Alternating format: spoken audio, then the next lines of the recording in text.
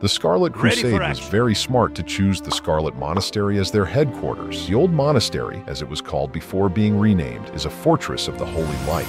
That's right, it is a fortified monastery, with the idea behind this being to withstand attacks from the Horde and act as a defensible stronghold. It's not surprising that it was one of the last bastions of Scarlet troops. The monastery was a place where paladins would train and strengthen their connection to the light. But after the Third War, it was taken over by the Knights of the Silver Hand to be used as a base for a counteroffensive against the Forsaken. When the cult of the Scarlet Fanatics emerged from the ranks of the Silver Hand, they kept control of the monastery and would use it to complete their goals. Unfortunately, the Crusaders saw not only the undead as the enemy, but also the living, claiming anyone except them is bearing the undead plague. This is why the cries of the innocent would forever echo through the torturing chambers of this once holy place.